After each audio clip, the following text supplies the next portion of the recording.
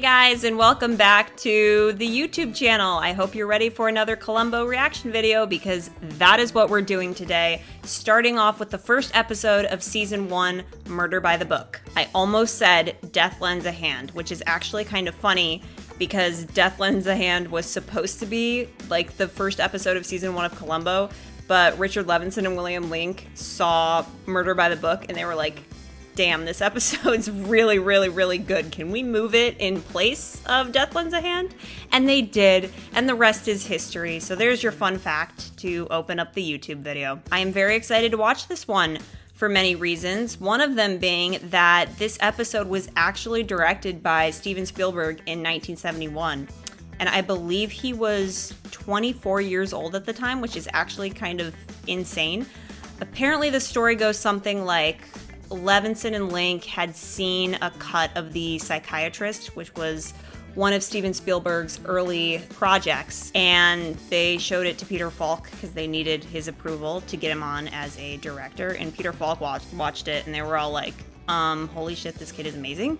So they hired him, and sure enough, he, he directed the first episode of Columbo season one, which is very cool. Hmm. I had no idea when I watched the, this episode for the first time, but there are some very poignant and obvious Steven Spielberg shots that just kind of tune you into the fact like this is his project. I feel like he's one of those directors where he has such a distinct directorial style that you can call it out almost immediately. Oh, also another fun fact for you. This episode actually just turned 50 years old in 2021. I believe it's going to be 52 year this year, which is insane to me because the concept of time when I watch these shows just doesn't exist to me. It's weird to think about like, oh, I guess Columbo is over 50 years old. That's really strange.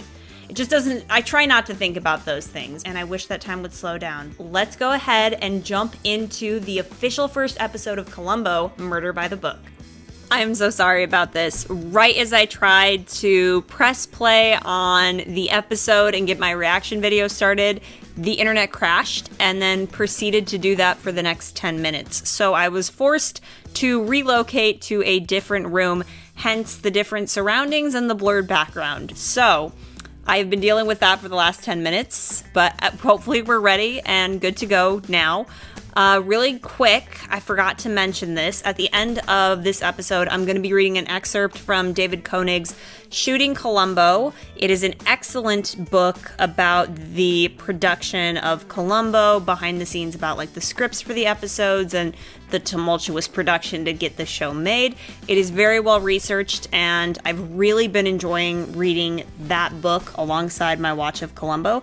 So I try to find interesting little excerpts from that book to share with you guys. I try to keep them short because these reaction videos are already long enough as is, but I try to find the most interesting stuff and then just read from it. If you want to stick around at the end of the reaction video for that, I will be doing that as well. Hopefully, I will hit play on this episode and we will have no more problems. But with that being said, let us now try to get into this episode. Okay, sorry, I had to shift the camera again because there's no comfortable position on this couch.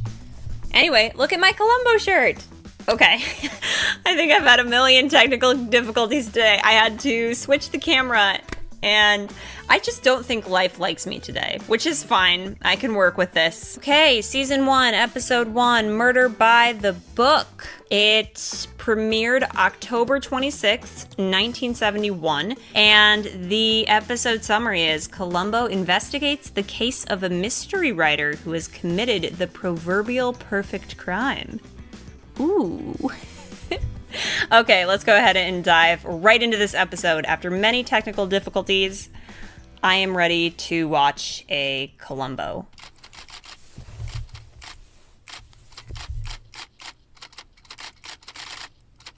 God, I love that shot.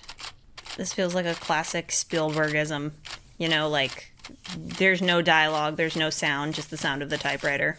I don't know what it is about those title cards that are so aesthetically pleasing, but they're just I don't know, they just reek of classic 70s era and I love it so much, but it has such a nice aesthetic to it. Ah, Jack Cassidy.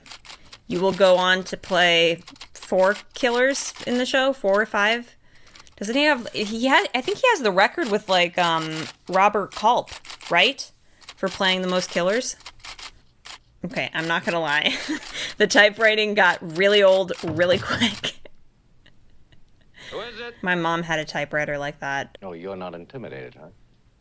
Oh, come on, Ken. Are you forgetting that I'm one half of the world's greatest mystery writing? Ken. you're right. I'm a lousy practical joker. What are you doing here with that? He thing? has like a I was on my murderer's way down face. the cabin. I thought maybe I could use it for protection down there. Also came by to apologize For what? For blowing my cork the other day. I got out of line. Blowing my Forget cork. it. You know, that happens. No, shouldn't happen. Not between you and me. Bottoms up, Jim. In the middle of the morning? Oh, come on, relax. It's Saturday. Oh, good, that makes it fine. It is always the middle of the night. I give you our divorce. Not really a divorce. Oh, sure it is. Come on, let's be honest. I mean, it, there's no alimony, but uh, it is a termination. And our dear little children, all 15 of them, 50 million copies. And to the lady who made it all possible, the greatest sleuth in the world, Mrs. Melville. Man, he's being so passive aggressive right now. How many inside all, jokes Friendship is more important than partnership. do you think Right. the the writers had about Levinson and Link for this episode being like, "Hey guys, Right. it can be a murder mystery writing team." And then one of them can kill the other. Now, sir. Actually, the timing isn't bad. I was just finishing the final chapter. Ah, Mrs. Melville's last case. I left my lighter in the office. Do you need it? That's my security blanket. I'll be a minute.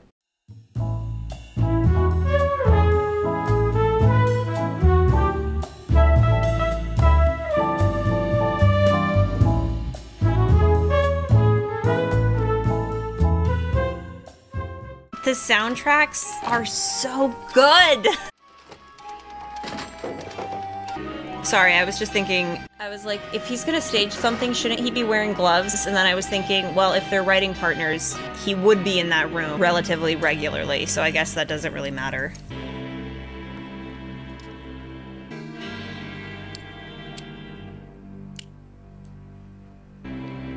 It's already some mighty fine camera work in here for 24 year old Steven Spielberg. I have a surprise for you. For moi, For moi. Prescription Murder. A Mrs. Melville thriller by James Ferris. Look at that. Franklin. Oh, plugging their the the stage play that started it all. Well, Mr. Franklin. They literally ju- they're like, why don't we make this episode a massive metaphor for Levinson and Lincoln, how Columbo got started? like they just couldn't help themselves. I love it though. It's great. There's so much brown in this in this one scene. Hello. Uh, Joanna, it's Ken. Oh, Ken. As a matter of fact, I left Jim at the office a few hours ago. We signed the armistice. Oh, well, why don't you join us for dinner? We'll celebrate. I'd really love to, but I'm I'm spending the weekend down here in San Diego at the cabin. Right. I'll see you in a few days. Okay, so now he's wearing gloves. All right. There is so much brown. the 70s were so brown.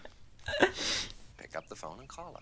Simply say that you're working at the office. You're calling from the office. She knows you have a deadline to meet at the book. You're working late. And call her so we can start enjoying ourselves. if you want your wife to believe you're calling from the office, you don't have the operator place the call. You dial it direct. The area code is 213.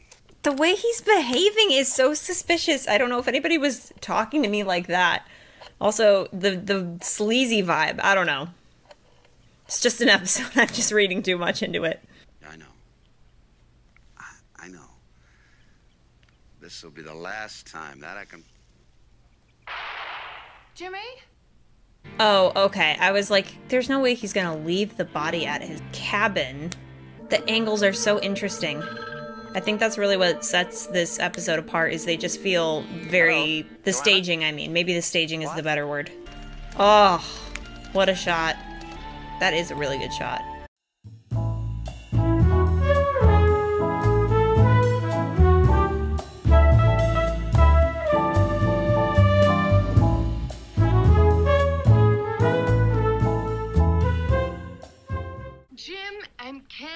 Wrote this scene in their in their books a hundred times. All the guys in the background look so old timey. Papers on the floor.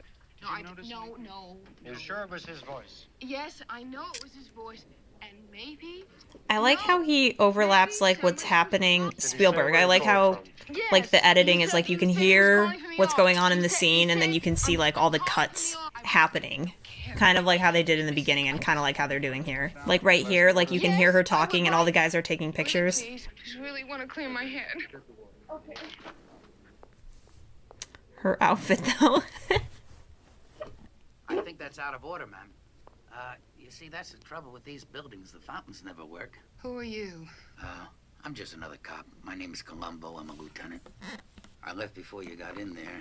You know why? Because it's so smoky in there and so noisy in there that I just had to come outside and get a breath. Oh, I think I better get back. Now, look, wait a minute. I love look him. very tired to me, and I think you had a terrible experience in there. And I think I ought to drive you home. Let's call it a night. I think you've answered enough questions, and I'll call him and I'll tell him you're with me. Why isn't Ken here? Is that Mr. Franklin, the other half of the writing team? Yeah, the other half of the team. You know, that's what I like about these buttons. You don't have to push them. They go off with the heat of your hand. I bet you haven't had anything to eat. I love him so much. And I love how in those You're a quiet very nice scenes. man, Lieutenant, but I'm Ah. not really hungry. Sorry, I'll tell you, I'll express Ferris, later. I'm the worst cook in the world, but there's one thing I do terrific, and that's an omelet. Even my wife admits. I'm really not hungry. Listen, you'll take a taste. You don't like it? You throw it away. I'll tell you what the secret is to a good omelet. No eggs, just milk. uh, Oh, he's so kind to her. I love. Him. You're a very persuasive I love him. Why'd you laugh before? When? When I asked you if Mr. Franklin was the other half of the writing team? Um, did I laugh? Yep. Maybe it was the way you put it. Writing team. But Ken hasn't written a word of a Mrs. Melville novel in years. Mrs. Melville. Who's Mrs. Melville? The character that Jim and Ken created. Well, uh, why did your husband? There's put like with so it? much What I mean subtweeting uh, of the creation of Columbo in here. I love it. Boy, I tell you, I'd love to be a writer. That's a terrific talent. Where do you get all the ideas? What's Asks casually while cutting an onion. Magazines. And those were mysteries too, weren't they, huh? They're tricky, I'll tell you that. I could, I could never figure those things out. It got harder. Maybe that's why he decided to go out on his own. Oh, really? I didn't know that. That sooner or later people are bound to find out. What, that your husband did all the writing? Lieutenant Columbo, Mr. Franklin. How you doing? Well, the question is, how you doing, Lieutenant? Well, How you we doing? Has Jim been found yet? Been found yet? Uh, why, did somebody tell you he was gone? Lieutenant, I just spent several hours driving up here from every See, news station. already pin- he's already pinpointed that Ken been is the killer. Have you come up with any leads, any clues? It's a little early for that. Early. But now that you Usually mention it, uh, you, based on the conversation I just had with Joanna, See, if Mrs. Melville were on this case, oh, she'd be leaps and bounds ahead of you by now. sir, do right. you know who you're talking to?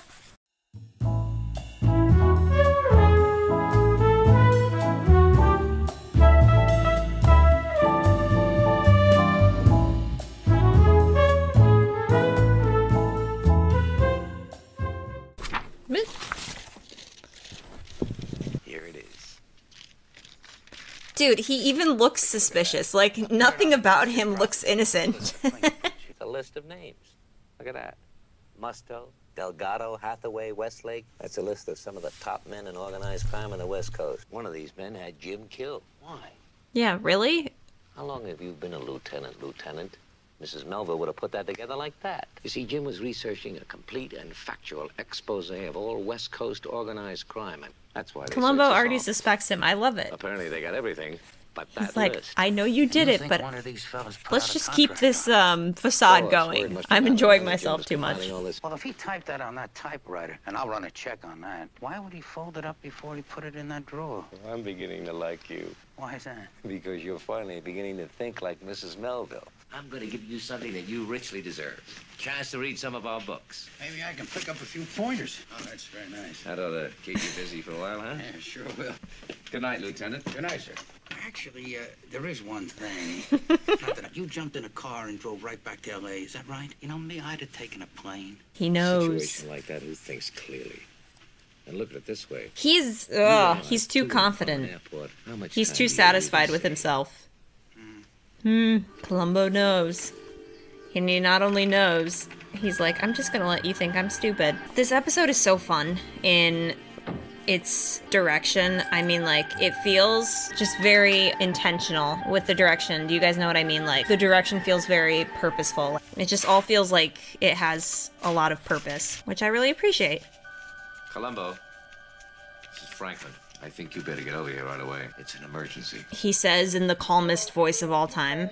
Like I feel he just incriminated himself by like throwing the body on the lawn. Like could you look more guilty after that? You couldn't have dumped it someplace else like not on your property? It's like in trying to make yourself look innocent, you make yourself like significantly more guilty. Boy, this is quite a place. Haven't they reused like this house like Hardly. It's an original. 20 times in the series? You own this? Mrs. Melville has been very kind. If a fella's partner dies, uh, does he own the other fella's half of the books, half of the, uh, Royalties? yeah. They go into the deceased's estate. Because, of course, you insured each other. Oh, I love him. Why do you think that you mean to tell me you haven't figured that out? oh my god, he's getting really Kinda annoying. You haven't figured it out like Mrs. Melville, Lieutenant. You're not as smart as Mrs. Melville, Lieutenant. Lieutenant, have you ever read Mrs. Melville? Like, is he trying to plug him on his books?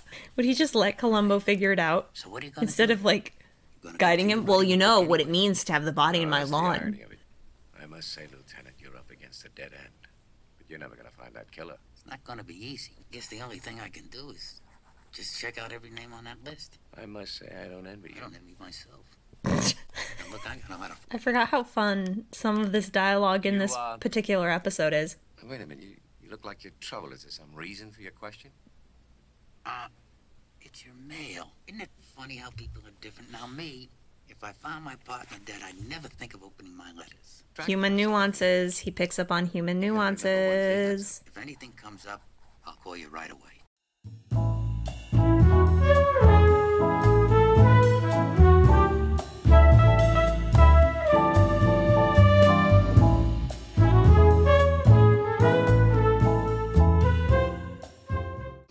What kind of stand is that?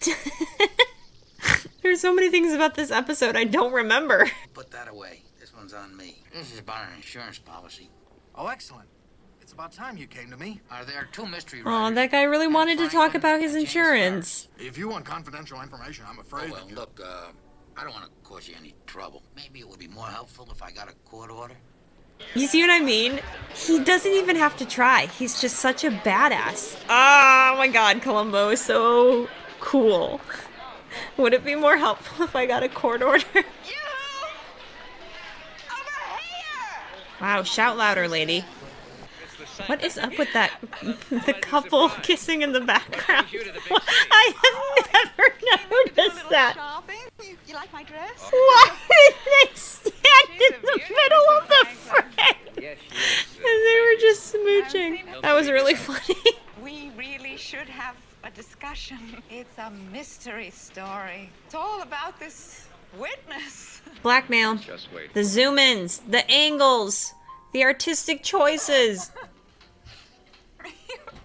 You're The piano music in the background is the theme for Ransom for a Dead Man. Quite a stare. Yeah, it is. You're very lovely. May I call you Lily? Oh, I never noticed that. Adds an extra twinge of creepiness to the scene.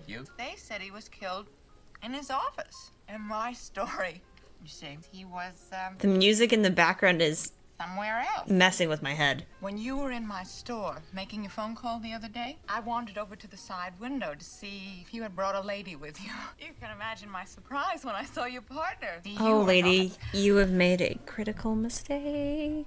Very well, lady. Oh, he's so creepy, dude. How much for your silence? $15,000.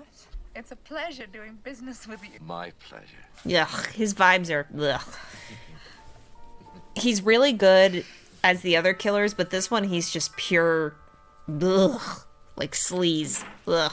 oh my god, he's so cute. He's occupied at the moment. He has all eighty thousand of the books. Only a few more.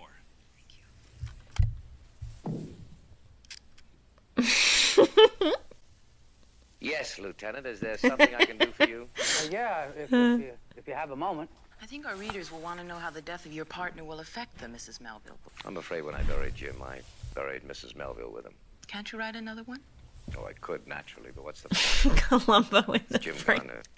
The staging there is so perfect. No, I'm afraid. You uh, see her Mrs. arm, Melville him. her It goes last right, case. left, uh, right. Says I could give you a more detailed interview, even in more depth. That'll be nice. Shall I call you? Yes. That was weird for everybody. Excellent. Oh, And also sorry, the honey. photographer. Thanks very much. All right, Lieutenant, what can I do for you? Well, I thought back But the, the lady detective, what a character, what a brain, and what logic, the way she figures it out. What logic! The way she figures it out. Was Uh, you going someplace special? As a matter of fact, I'm on my way down to my cabin for a rest. Would you like an itinerary? Hey, I'm sorry. Would you like an I'm itinerary? making a pass to myself. Yes, yes, I am. I know. Would you like an itinerary? He goes, oh, no. yeah. Do you have a minute? Jim and I had patched up our differences. What do you mean by differences? I knew Joanna would be concerned, and I wanted to put her mind at ease. Yeah, that's understandable. Oh, fine. Is that all? Yeah, that's all. Good. So, oh, fine. Yeah, is that all? That's all. Now, listen, uh, drive carefully. Don't worry, Lieutenant. You can count on it. Here's to prosperity. And romance. The daily double. I'm cringing so much, but he's so good because you you just you hate him. He's so great though. Because I don't know if I can trust you. Now, is there any reason not to? Yes. Lily, if I Um, she I knows that you killed Jim. It's such a beautiful night. We should row out to the center of the lake and go for a swim. I'm sorry, dude. Everything about him is screaming murderer. If if I just got that money from him But we all and then he took me out on a date and he was like, "We should go into the middle of a lake for a alone with you on swim," I would have been like, boat. "Nope, bye." I almost wish he were here now. Well, maybe we can do the next best thing.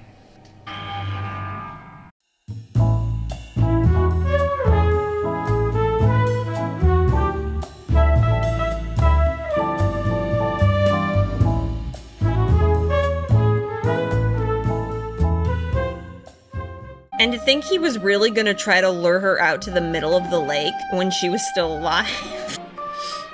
That's a beautiful shot. What the heck? Please, Columbo. Yep. I was like, please let Columbo just be waiting for him. Morning. Hound him. Hound him. Oh, there was a drowning. Well, what was it, a fisherman? Local woman. Uh, a Miss La Sanka or something? something like that. I think she was the one that drowned. Well, if it was her, I, I'd be very sorry. She was always very friendly. Oh, you did know her? Without Jackass, he's like, I'm gonna kill you. I didn't mean to bother you. No, no, no. It's no bother at all. Ugh, that shot. There's so many shots I'd like to just screen cap guy and keep Yeah, for that's desktop My wife, backgrounds. it's the ath- You know, I didn't want to barge in on you today unannounced. No, last night I called to tell you that I was coming, but there was no one at home. He just nails him with the facade on. Love him. You mind if I browse around? Well, help yourself, Lieutenant. Didn't she have a bruise on her head? How did you know that, Ben? Probably a result of the boat capsizing and rendering her unconscious. I can't ascertain that until we see an autopsy report. The doctor's looking at it right now. Sounds like drinking to me. Swim. I wasn't married to the lady. Any living relatives? Classic. I don't. Rowboat? What about it? Belong to the deceased. I've got witnesses that have seen her taken out. I love how he did that shot. How they just carried you through the scene up until him sneaking through the doorway. Ah, camera direction is so fun. It just goes to show you how much the camera direction can like tell the story. You know, what an important part it plays. I don't remember this. She got dizzy. And you think it was an accident? I certainly don't think it was foul play.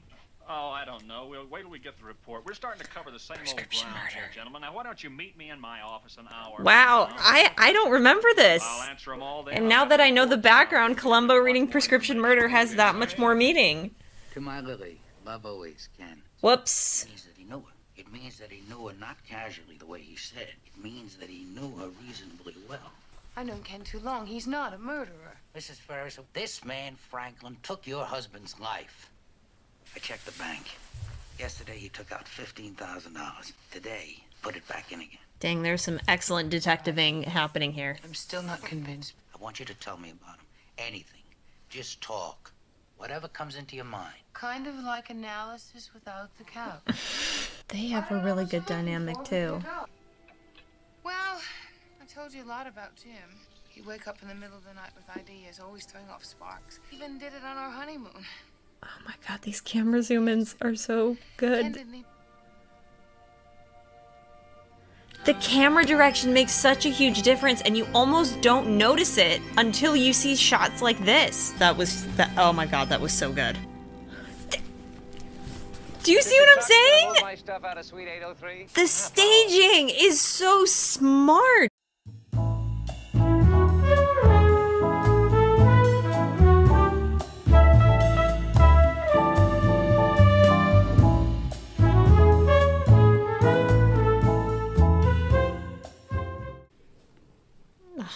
Staging is so delicious in this episode. I feel like that's meme material right there. Columbo reading the book. I happen to be in the neighborhood. Oh, you're always in the neighborhood. I'm here to arrest you for the murder of your partner. Oh, you cut that dribble. I've written that stuff so many times, I know it by heart. And what is this nonsense? You're going to arrest me.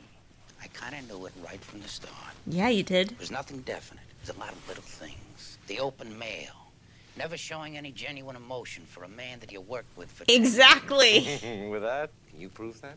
Yes. I enjoy watching a man raise without any cards in his hand. You know what, Ken? I'm going to tell you the truth. Called him Ken. Suddenly I thought of something. How clever that first murder was. Brilliant. Oh, you awarding gold medals today? Yes. He's so sarcastic. Second one. Come on, get to the climax, Lieutenant. You're talking to a writer. This dialogue is so flippin' good. Mrs. Ferris told me that you didn't contribute to the writing. How could a man with no talent for mysteries make up such a clever murder? If he were that ingenious, Burn. you'd be able to write your own books. The first one, the clever one, that wasn't yours. The second one, the sloppy one, that was yours. A wants to kill B, drives B to a remote house and has him call his wife bang bang. That's the plot you used. Wow. You want to know the irony of all of it? That is my idea. I must have told it to Jim over five years ago. Whoever thought that idiot would write it down? Utterly perfect dialogue and performances from both of them. Beautiful performances from both of them. I feel like this should be mandatory viewing in a film class. Like this episode specifically of Mrs. Melville saw the whole thing she was watching the entire time. Oh my goodness. Oh my gosh. Okay, I'm gonna try to give my really quick thoughts because I do want to read an excerpt from Shooting Columbo. Love how they end on the portrait of Mrs. Melville. So poetic, so perfect. She was the one to there the picture was the one to witness like what was actually happening with the crime. And then to have it end on her eyes being zoomed in on I- is just very poignant. So i really appreciate how they ended that. Let me just look over my notes what i wrote down. So one thing i've pointed out already i think in my first few reaction videos about the character of columbo in general is that he's very in tune with like human nuances like things that people tend to do and then when they fall out of those nuances so like the mail thing with Jack Cassidy's character Ken, you know, Columbo picks up on. He's like, why, if a body was just thrown in your yard, would you just go in and check your mail? Like that's so weird. Or the scene where, like in the beginning, like Mrs. Ferris is really, really upset, and so she goes out to get a drink of water, and Columbo notices like how overwhelmed she is, and he starts talking to her and then they go back to her house and then like as he's like trying to make an omelet to like make her feel better he just throws in his questions there.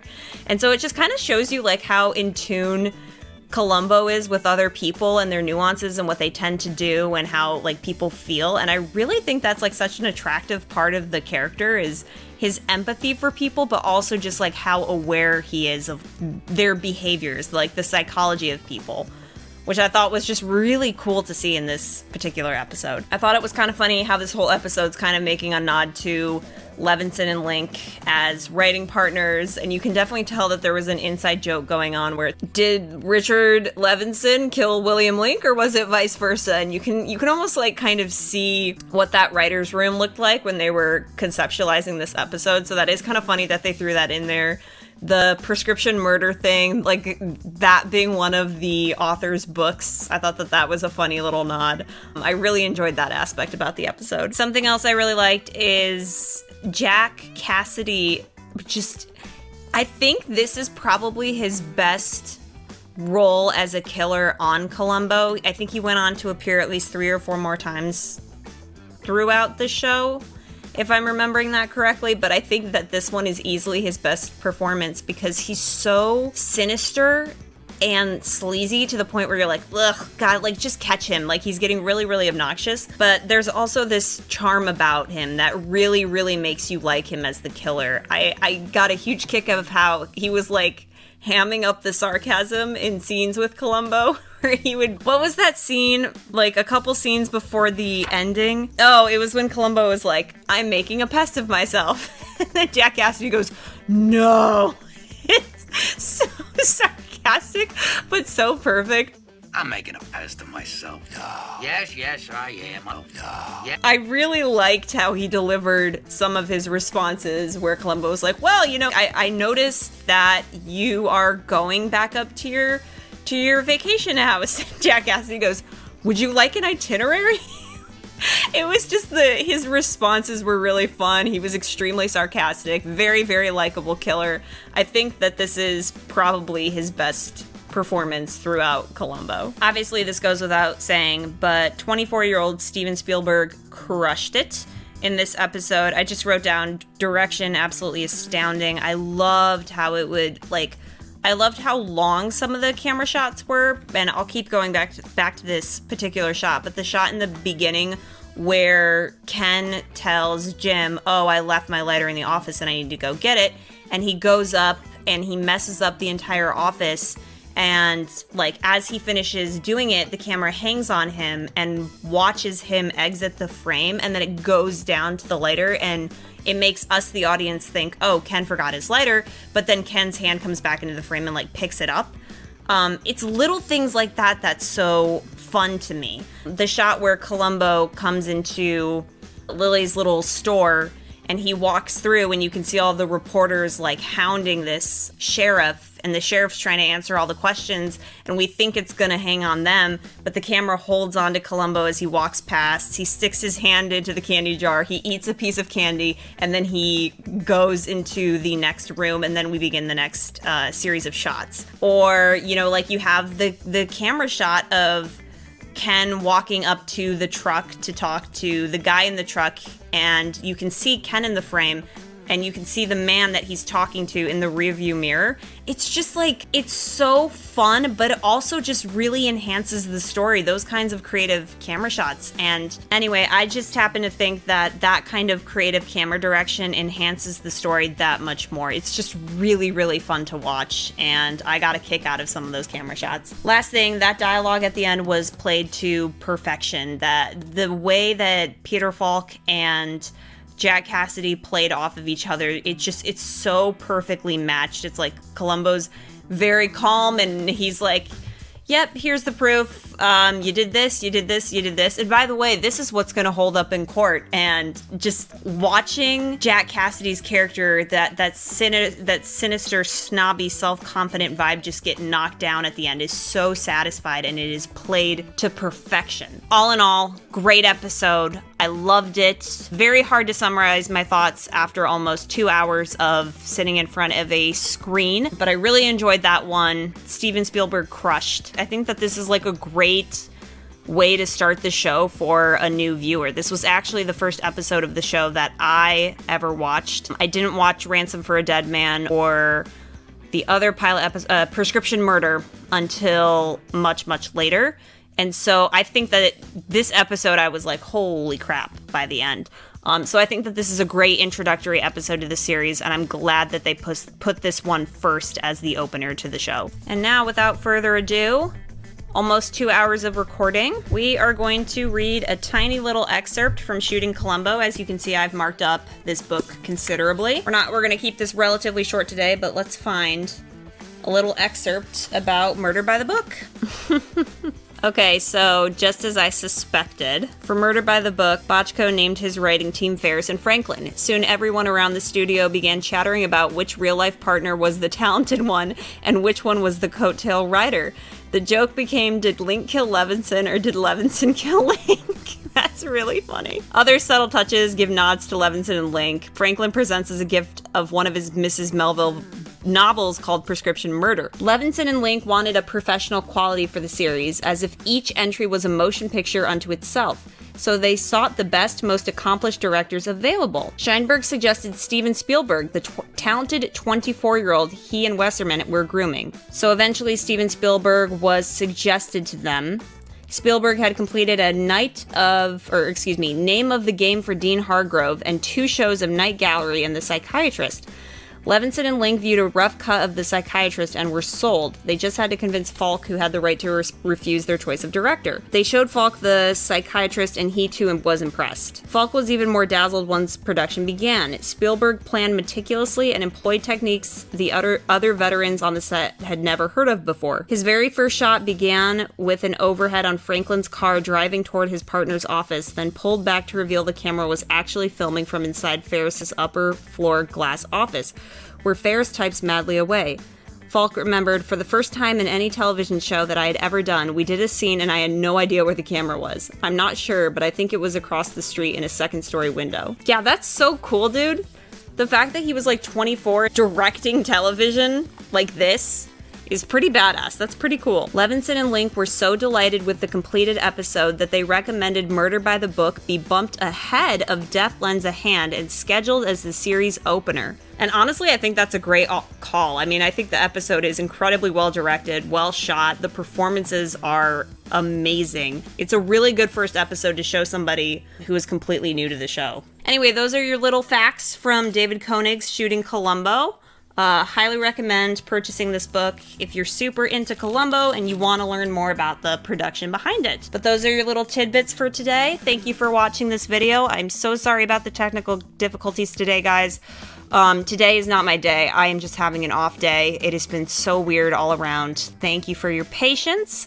Thank you for checking out this video. Like and subscribe to the YouTube channel if you want to continue to watch Columbo with me. And let me know what your favorite aspects about this episode are. There's so much to appreciate here and enjoy. And I have not seen that episode in a while, so that was really fun to go back and catch new things I wasn't aware of the first time. Thank you for watching the video. I hope you guys have a great rest of your day, hopefully a better day than me, and I will see you in the next reaction video.